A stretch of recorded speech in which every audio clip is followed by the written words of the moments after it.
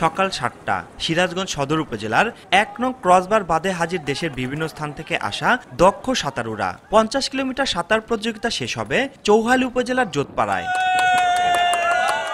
দুর্যোগপূর্ণ আবহাওয়া ও উত্তাল যমুনার ঢেউ উপেক্ষা করে সতেরো সতেরো দুঃসাহসিক পঞ্চাশ কিলোমিটারের যাত্রা, যাদের মাঝে আছেন একজন নারীও। অংশগ্রহণকারীদের অনেকেই আগে জয় করেছেন বাংলা চ্যানেল। একটানা বিশ, তিরিশ কিংবা চল্লিশ কিলোমিটার সাঁতারের অভিজ্ঞতা রয়েছে অনেকেরই। তবে দেশের দীর্ঘতম পঞ্চাশ কিলোমিটার সাঁতার প্রতিযোগিতায় অংশগ্রহণ ছিল সবার জন্য এক নতুন অভিজ্ঞতা। প্রত্যেক সাঁতারুর নিরাপত্তায় ছিল একটি করে নৌকা ও দুজন করে গাইড। দেশে প্রথমবারের মতো অনুষ্ঠিত দীর্ঘতম এই সাঁতারে অংশ নিতে পেরে উচ্ছ্বসিত অংশগ্রহণকারী সাঁতারুরা।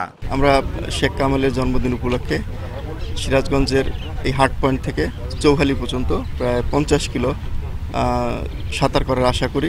সাঁতারটাকে আমরা সর্বজন যাতে সবাই সাঁতারটা করে এবং সাঁতারটাকে ভয় না পায়। আমি নিজে হচ্ছে বাংলাদেশ একটা শাহপুরি দ্বীপ থেকে সেন্ট মার্টিন সাঁতার কেটে ক্রস করেছি এবং পদ্মা মেঘনা যমুনা ব্রহ্মপুত্র সহ বেশ কিছু ইভেন্ট আমি অংশগ্রহণ করেছি। আমার খুব ভালো লাগতেছে। কারণ আর আজকে তো মানে আবহাওয়া অনেক খারাপ দেখা যাচ্ছে। তারপরেও দেখা যাক কি করা যায়। নিজের মানে নিজের কাছে মনে হচ্ছে যে আমি পারব। আমাদের নদীমাতৃক দেশ আমাদের এই দেশে এত সুন্দর নদী আমরা এই নদীগুলোকে যেন আতঙ্কিত না হয়ে ভয় না পেয়ে এগুলোকে এনজয় করতে পারি। ওইটা হচ্ছে আমাদের উদ্দেশ্য। নগদ আসার পরে এখন দিনে বাঁচে আশি টাকা। দুই বছরে সাতান্ন হাজার ছয়শো টাকা। দেশে পানিতে ডুবে মৃত্যু ঝুঁকি কমানোর পাশাপাশি নতুন প্রজন্ম ও তাদের অভিভাবকদের সাঁতারে উৎসাহিত করতেই করা হয় এমন আয়োজন। আমাদের এখানে কিন্তু শিশু মৃত্যুর হার সাঁতার না জানার জন্য এবং ডুবে মরার হার অনেক বেশি। দীর্ঘ একটি সাঁতার পঞ্চাশ কিলোমিটার।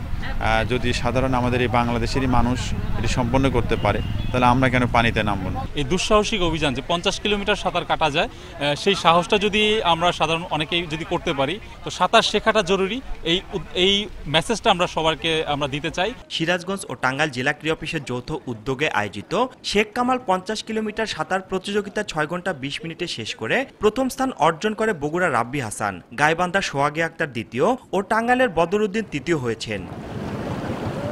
রিঙ্কু কুণ্ডু সময় সংবাদ সিরাজগঞ্জ।